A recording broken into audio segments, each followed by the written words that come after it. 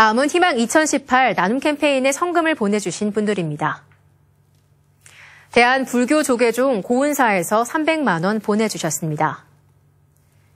안동동협 임직원들 415만 원 보내주셨습니다.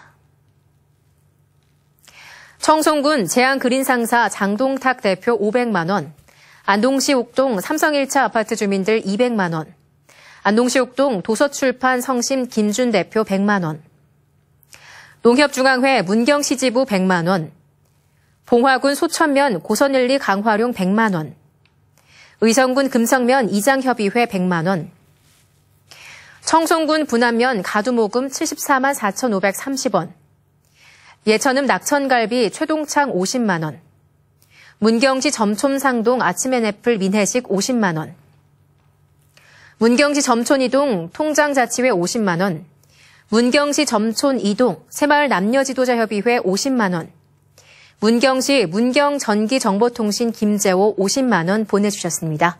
성금을 보내주신 분들께 감사드립니다.